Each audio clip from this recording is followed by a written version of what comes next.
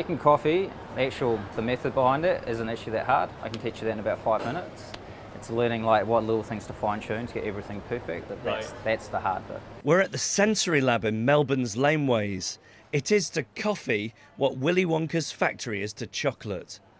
This is Andy, who's teaching us to become world class baristas. This is kind of pretty traditional kind of Italian kind of style that we start off with. Still three main important things. You've got a machine, you've got a grinder, and the person making the coffee, which is you guys. It's, uh, you can have the best grinder and machine in the world if you don't know what you're doing with it. It's like you can have a Ferrari if you don't know how to drive a car. It's it's kind of useless. Like all coffee machines are basically a combination of um, a boiler for hot water, a pump so you get your nine bars of pressure that you need, and a group head, which is where you put your coffee in. Obviously, first of all we overfill the basket. So sorry if I've got shaky hands. I drink lots of coffee. I'm a little nervous. and then we're just going to wipe it flat.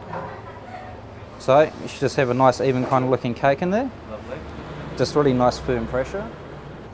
So grip handle in the machine. All this very quickly. You don't want this dry coffee in here because it's just going to bake basically. Two seconds in the middle.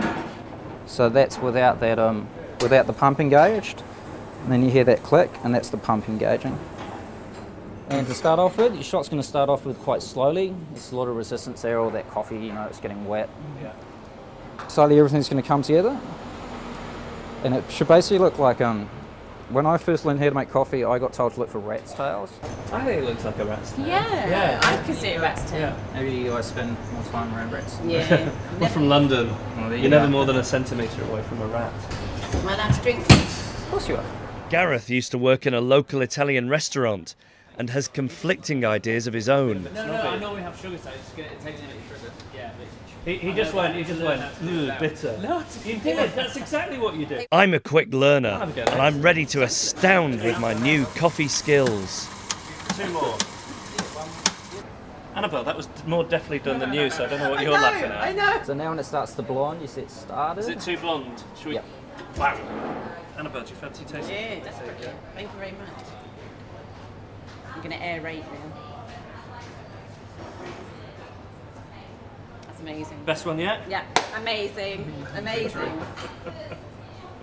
Andy explains how to heat milk. It's the greatest milk I've ever tasted, like it came from a cow that only mm, eats Kind expensive develop and out of the salads. milk. It's really sweet. Feels like being a kid. I know. it does. I feel like milk hasn't tasted like that Yeah, since, I was, yeah. since I was little. It's so nice.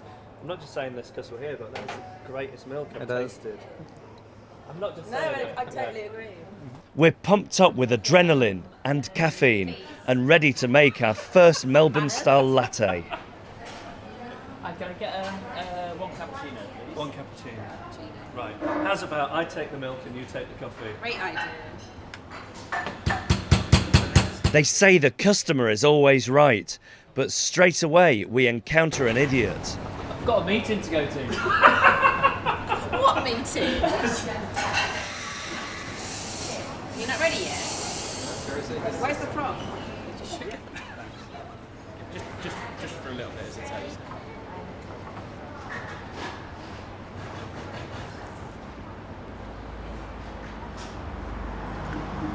There's not much heat in it.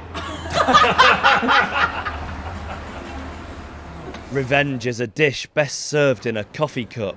Gareth seems confident that his previous experience with a percolator in a small neighbourhood restaurant will serve him well. He is deluded. Do a great cappuccino or a cafe latte. Okay. Oh, a great one. Cafe latte, you say? Okay. Right, why don't we have a cappuccino? Really Like a bit of froth, really yeah, really frothy. frothy and hot. As yeah. hot as you can make it. Yeah.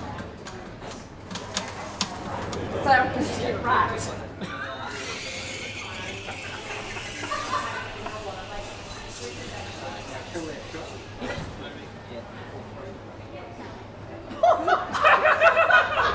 okay, I'll have the sauce and you have the cup. there you go. Sir, why are your hands shaking, sir? Try that.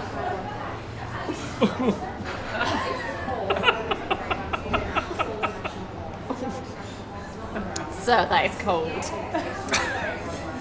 Sir, that is stone cold. It's like the Italian restaurant all over again. Andy, the coffee expert, steps in and makes the perfect cup. We'd expect nothing less, as Melburnians take their coffee very seriously.